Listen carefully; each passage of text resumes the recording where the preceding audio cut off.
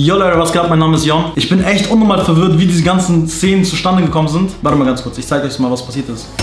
Ich hatte eine beste Freundin gehabt. Ich weiß ganz genau, ich hasse sie über alles. Er hat keine Beweise, ich hatte Beweise. Du hast Beweise, dass er fremdgegangen ist. Äh, Genau in dem Monat hat sie das mit sieben Typen, also läuft bei dir. Dann hat sich meine Mami eingemischt.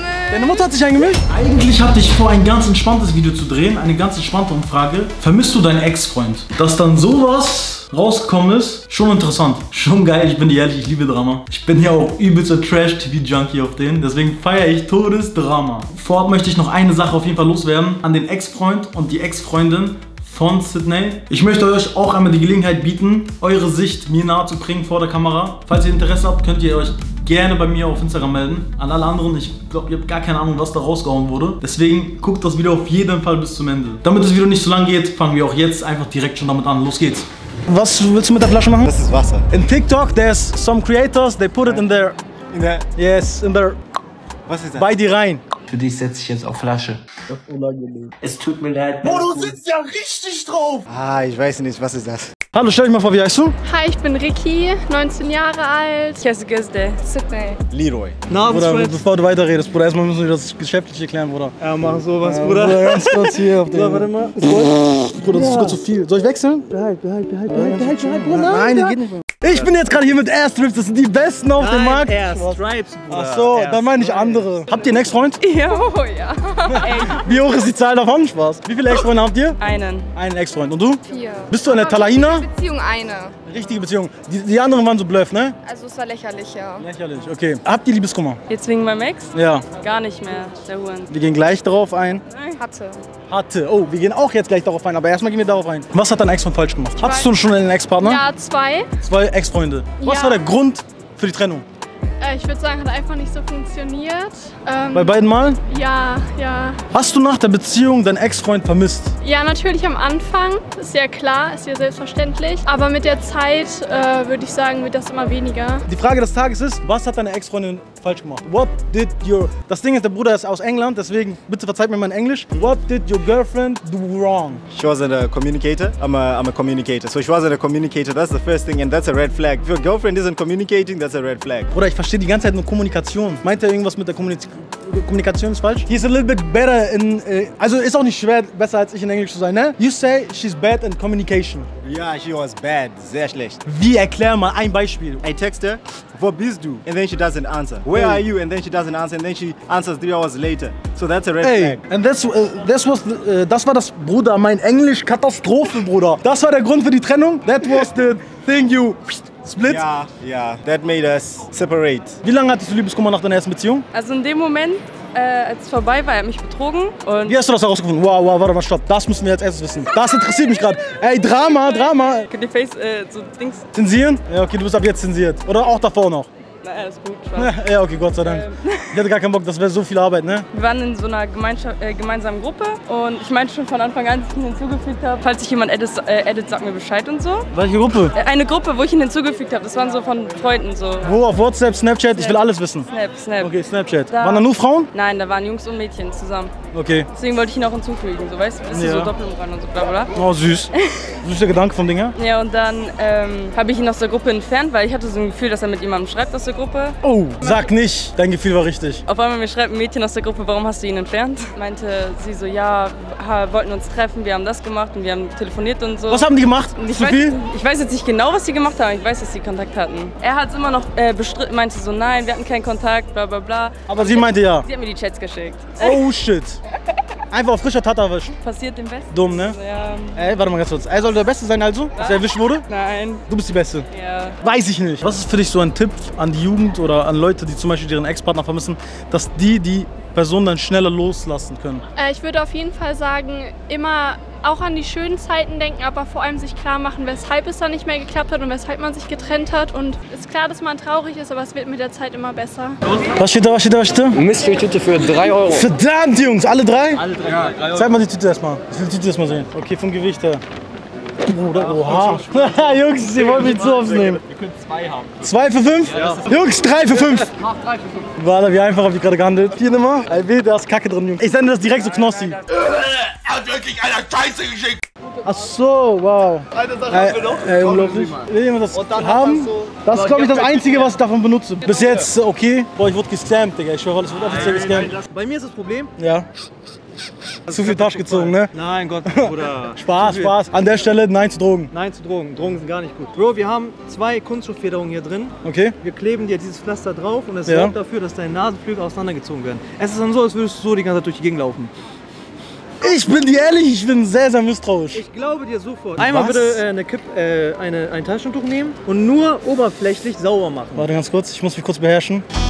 Okay, nicht geschafft. Ah. Wie hast du dich gefühlt, als du herausgefunden hast, dass er dir fremdgegangen ist? Wenn man das Fremdgehen nennen darf. Ich hab, ja, sagen wir betrügen, so auf den. Aber Betrügen ist doll. Also ich würde ich würd das jetzt nicht betrügen. Fremdgehen, Fremdgehen ist für mich so, als würdest du, äh, als würde jetzt mein Ex mit jemand anderen schlafen. Betrügen ist so mit anderen schreiben und so. Okay, wie hast du dich gefühlt, als du das herausgefunden hast? Ich hab gelacht, ich fand's cringe. Ich fand's echt unangenehm. Sie sah nicht mal gut aus. Ey, falls ihr das sieht, tut mir leid, aber.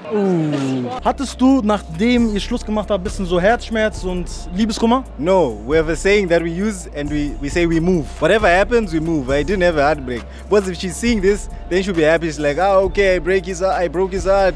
And then she'll be happy. So no, I didn't have a heartbreak. Oder ich habe gar nichts verstanden, ne? Er hatte keinen Herzschmerz. No heartbreak. Heart heartbreak. strong. But if it's not in the camera, I did have a heartbreak. But when you're in front of the camera, I had a heartbreak. So cut it, cut the, cut the part out. Auf den ich lache jetzt nur, weil er auch lacht. Ich weiß gar nicht, was er gerade gesagt hat. Mein Englisch ist wirklich brokey. It's good. I think I'm it's- trying. Somebody laughed about my English. Aha. They don't talk because they don't can and they. Die machen auf teuer, weißt du was? Flaschen in den rein, oder nicht?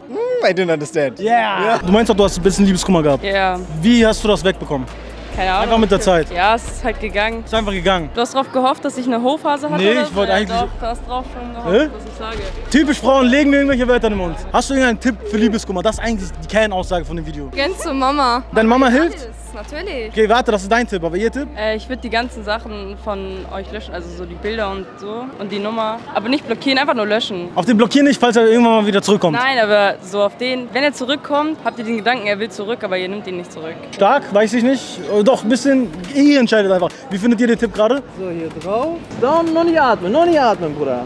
Ja, du hast mich auf jeden Fall hops genommen, Bro. Das bockt ehrlich Todes, Bruder. Bruder, das bockt gerade behindert zu riechen wieder. Ich riech wieder. Also zwischen 1 bis 10, wie gut ist Bruder, ich riech jetzt? leider zu viel, Bruder. Okay, du meinst, du hast auch einen Ex-Freund gehabt. Was ist erstmal der Grund gewesen, warum ihr euch getrennt habt? Er ist mir auch fremd gegangen. Jungs, was macht ihr denn, Digga? Könnt ihr das nicht verheimlichen wenigstens? Also ein bisschen besser verstecken, Jungs. Wie hast du das rausgefunden, dass dein Freund dir fremd gegangen ist? Ich hatte eine beste Freundin gehabt, deswegen ich finde es ganz geil, dass ich das jetzt gerade so sagen kann, weil ich weiß ganz genau, ich hasse sie über alles. Deine beste Freundin. War hast du beste jetzt? Freundin. Ui. Jetzt ist sie meine Es wird beste richtig Freundin. geiles Drama gerade. Du bist ihre beste Freundin. Ja.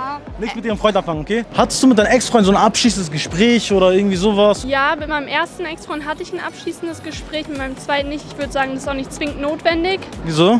Äh, ja, weil manche Du Sachen. weißt, ich liebe Drama, ne? Ja, aber Und das, ich glaube, es geht langsam in die richtige Richtung Drama. Ja, also ich finde manche Sachen, äh, da muss man dann noch nicht mehr drüber sprechen, die sind dann abgeschlossen und ja, dann ist ein zweites Gespräch, ein abschließendes Gespräch überflüssig, würde ich mal sagen. Das war richtig clean geantwortet, ich schwöre alles. Kurze Störung, wir drehen eine kurze Umfrage für, für YouTube. Hast du ganz Zeit Lust mitzumachen? Okay, danke dir trotzdem. Ciao, ciao. Willst du so eine Tüte haben als Geschenk? Hier, damit ich dir wenigstens einmal kurz ein Video habe. Danke. Bisschen Thumbnail-Material auskosten. Die haben mich gescammt, offiziell, bitte. Ah, die ist offen, scheiße. Jungs, die haben mich offiziell gescammt. Ich war mit ihr gut befreundet und dann waren wir alle zusammen draußen und sie hat schon die ganze Zeit so einen Kicker auf ihn gehabt. Was hat sie so gemacht? Also sie hat ein Auto gehabt, er ist damit gefahren, weil sie noch keinen Führerschein hatte und sie musste vorne sitzen, weil sonst wird ihr ja schlecht. Ich musste hinten sitzen, mein Freund war am Fahren. Ähm, dann haben sie Zeit auf Russisch geredet und sie hat halt die ganze Zeit so f- führerisch äh, gelacht. Oh mein Gott, vor dir auf Vor den. mir, vor mir. Auf den, wirklich vor dir, weil du warst ja hinten. Ja, ich war, saß genau hinter ihr. Ich konnte Du hast alles Spiegel- gesehen, ja. du konntest alles sehen. Ja. Und sie hat sich nicht geschämt. Nein, weil Okay. sie hat halt die ganze Zeit gesagt, ich kenne ihn noch nicht, ich kenne ihn noch nicht. Aber hat ihn so mit verwirrerischen Augen angeguckt. Ja. Du fällst dich gerade gegen eine Biene oder was? Normal. Dann äh, haben wir uns einfach so oft gestritten, dass wir es dann beendet haben. Jetzt, weil er damit nicht klarkommt, erzählt darum, dass ich ihm fremdgegangen bin. Ui. Aber er hat keine Beweise, ich hatte Beweise. Du hast Beweise, dass er fremdgegangen ist. Beweise. Du hattest Beweise? hatte Beweise. Was hast du mit den Beweisen gemacht? Ja, gelöscht, bevor es noch mehr Streit gibt. Meine Richtig Ausbildung ist dumm. mir heilig. Richtig stabil. Oh, ich zitter nicht. Ehrlich jetzt? Bist du aufgeregt? Wegen dem Thema oder wegen der Kamera? Nein, das ist das erste, was ich vor der Kamera stehe. Ehrlich jetzt? Ja. Aber ich finde, du machst gerade voll souverän. Wenn jetzt draußen auf der Straße zum Beispiel jemand ist, wie sollte dich ein Mann ansprechen? Ich würde einfach sagen, erstmal vorstellen, so so, hi, ich bin der und der und dann einfach sagen, weshalb man einen angesprochen hat und dann denke ich, ergibt sich das von ganz alleine.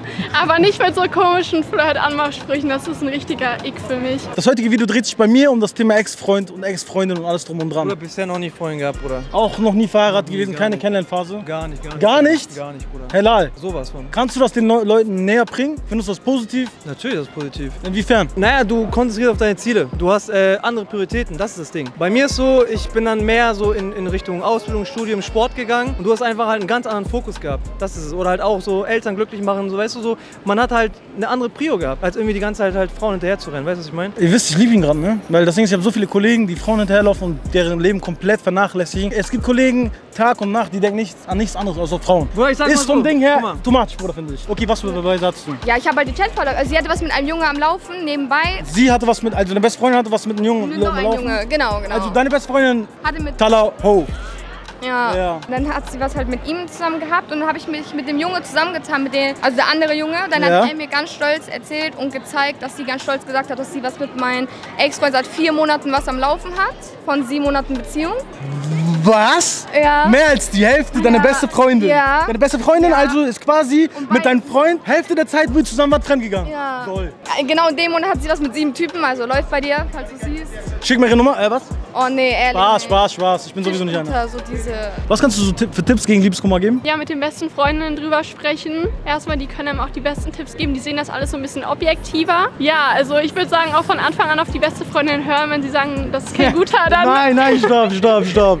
Nein, guck mal, diese Thematik, ne? Beste Freundin hat schon bei mir so oft so vieles zerstört, ne? Ich hatte mal eine Kennenlernphase mit einem Mädchen und ihre beste Freundin wollte dann auch was von mir, hat mich angeschrieben. Ich habe ihr nicht geantwortet, keine Reaktion gezeigt und dann hat sie dafür gesorgt, dass wir keine Kennenlernphase mehr haben. Also damit unsere Beziehung dann vorbei ist. Deswegen hört nicht immer auf eure beste Freundin. Man denkt, beste Freundin ist gut. Manchmal beste Freundin ist böse, egal was sie sagt. Also ich weiß jetzt schon, dass meine Stadt gegen mich jetzt schießen wird, weil die alle auf seine Seite sind, weil er hat fettes Auto, alles Schleim, du weißt, wie es ist. Nein, leider nicht. Ich habe kein fettes Auto. Und dann habe ich ihn geschrieben, hat das abgestritten und ab diesem Zeitpunkt hat er komischerweise erzählt, dass ich ihm fremdgegangen bin. Ah, er wollte Spieß umdrehen? Ja, dann hat sich meine Mami eingemischt. Deine Mutter hat sich eingemischt?